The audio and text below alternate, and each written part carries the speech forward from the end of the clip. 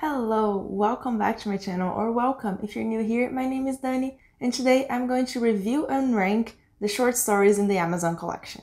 This collection of short stories was put together by Amazon as like original exclusive Amazon stories. And as far as I understand, it was envisioned and created and the authors that were involved were joined by Blake Crouch. Blake Crouch, if you don't know, he's the author of Dark Matter and Recursion, and these are two of my favorite books. And he invited five awesome writers to create short stories for this collection. So if you have Amazon Prime, they're all free to download.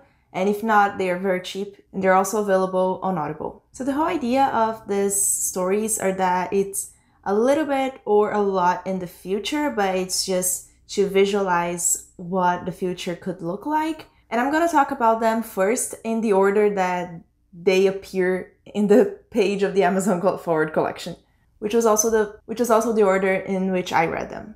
So the first one is called Ark and it's written by Veronica Roth. And if you want to check the audiobook, that one is narrated by Evan Rachel Wood. So the idea of this story, all of them are very, very short, so I'm going to be very vague on the synopsis. But the idea of this one is that Earth is going to be hit by an asteroid or a meteor or something, and everyone is evacuating Earth, but some people are left behind to catalog the plants and animals in the planet. And our main character is one of these people that is left behind because she works with plants. There's a lot about flowers, especially, but also plants in general in the story.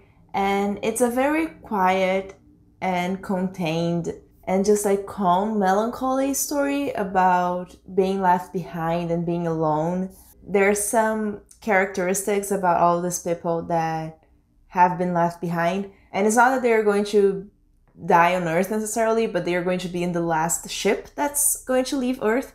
So there is a little bit of possibility that something goes wrong, but the idea is that they're going to be in the last ship. But these are all people that are alone here because everyone already left and they know exactly when the asteroid is going to hit. So it's a very tense, but at the same time, just sad story. We have a character here that is specialized in these flowers and he has a greenhouse with a bunch of flowers. And just talking to him, he's an old man. And the whole idea of being alone and being the last ones in the planet. I gave this one four stars, and I think it was the right length for this story because for me if it was a little bit longer it would get a little bit boring because it is very quiet and very slow. But i think it was exactly the right length and exactly the sort of emotion that i feel that she was trying to convey in the story. So if you like this idea of loneliness and being left behind and being the last ones in the planet that's the story for you the second story is by Blake Crouch and it's called Summer Frost and it has a completely different scenario. So in this one, there's this game development company who's designing this open world massive game and one of the NPCs or the non-playable characters in the game behaves in a way that it shouldn't behave. The audiobook for this one is narrated by Rosa Salazar. And I think if you've read Recursion and Dark Matter. I haven't read other works by him, but if you read this too, this story is so Blake Crouch that it's amazing. It's exactly the type of like future situation that you don't know exactly what to expect and it goes a little bit further than what you would think because that's how it was for Dark Matter and Recursion for me. Like I thought he would get this far and then he went much farther and that's how the story goes as well. And this was a little bit longer and I really, really loved it. If you like games and game development, but also if you just like robots and artificial intelligence and how far these things can go in the future, that's definitely the story for you. It really discusses what exactly it means to be human and how far the artificial intelligence can go. And it's just a little bit too creepy. Like you, you think that he's going to like get a little creepy and then he goes a little bit further than that. So for me it was it was perfect and I gave this one five stars. I really really enjoyed it and I can't recommend it enough. The third story is called Emergency Skin and it was written by N.K. Jemisin. and the audiobook is narrated by Jason Isaacs. This is one of the shortest stories, and it's also one of the most impactful and most important and has the most commentary on society of all of the stories. The story here is that uh, a group of people left Earth because Earth was dying and they colonized this other planet and they're all living there happy. But then one person from that planet is sent back to Earth to gather a thing that they have that they need that it can only be found on Earth. So this is narrated in second person, which is a very important thing to to say about this book because the whole idea is that you are this person that was sent back to Earth. You hear the voice of this leaders on the other planet that are talking in your head as you get to Earth and explore and try to find the thing that you're looking for. And like I said, this story has a lot of discussion and a lot of anger behind it. You can feel how angry the author is at the world and how everyone behaves and all the sexism and racism and politics issues with our world and kind of like what could happen if it gets too far.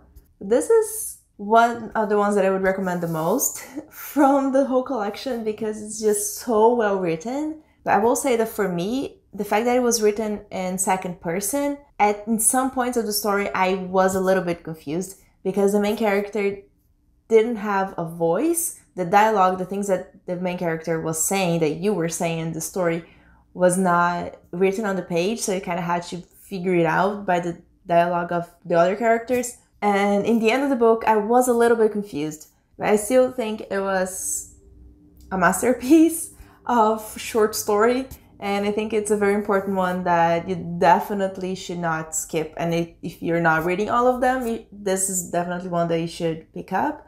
And for me, this one, this one was a four star because of the confusion that I had to, more towards the end of what exactly was going on.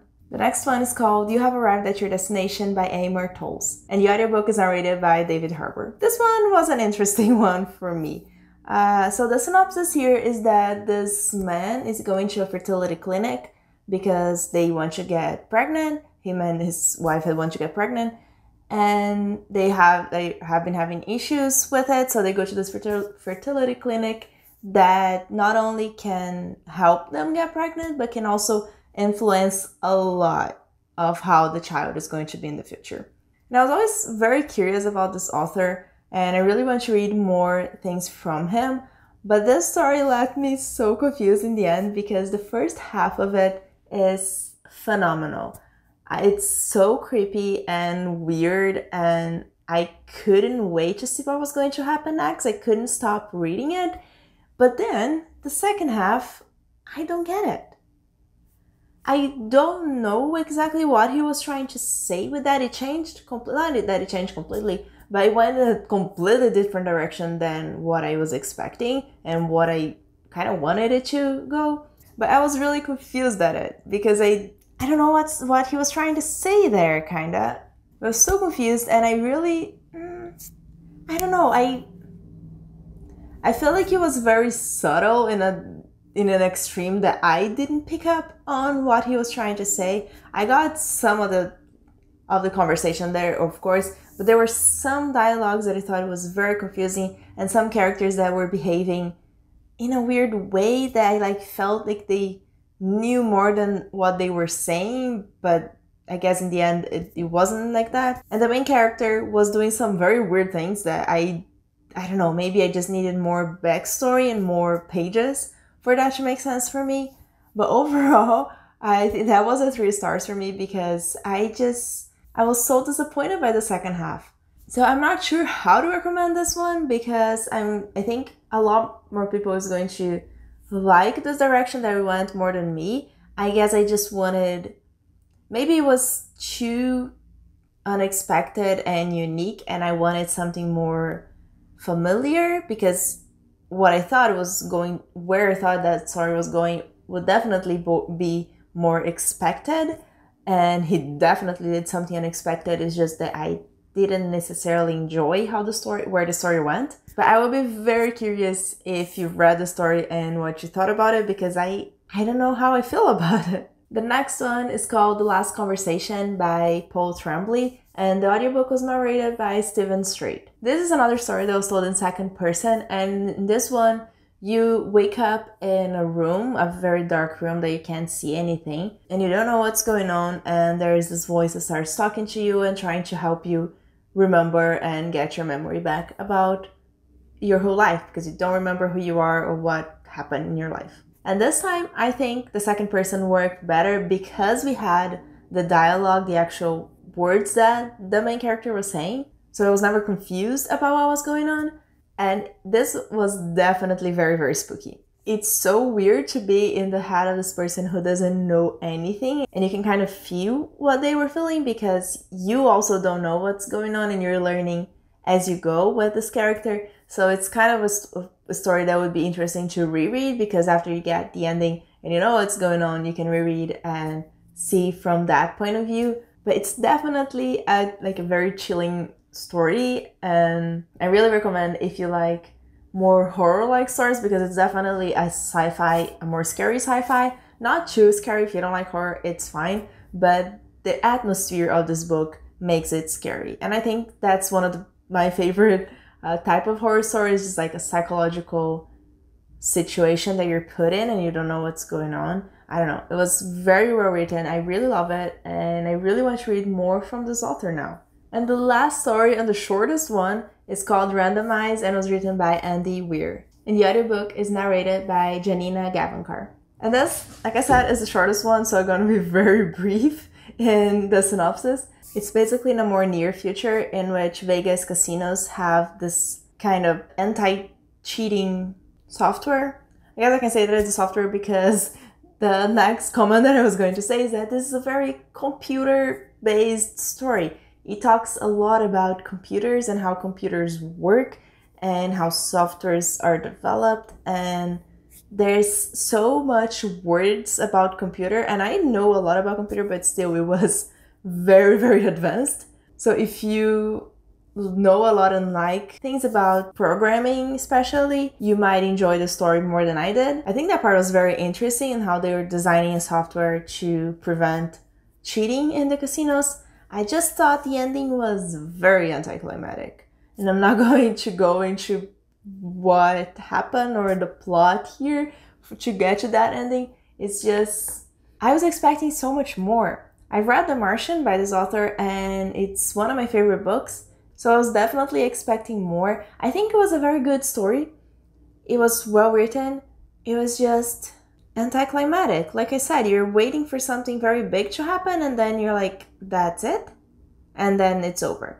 I feel I felt like that was part of a bigger story maybe, but that on its own it didn't work as a whole story for me.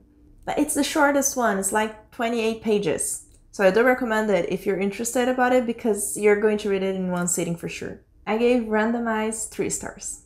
So I already talked about all of them. Let's rank them. I already told you my star rating, but some of them have the same star rating. So let's see how they would be ranked for me. My least favorite story, I think it would be randomized because it was just a nice story that didn't, that didn't pay off in the end. So that would be number six.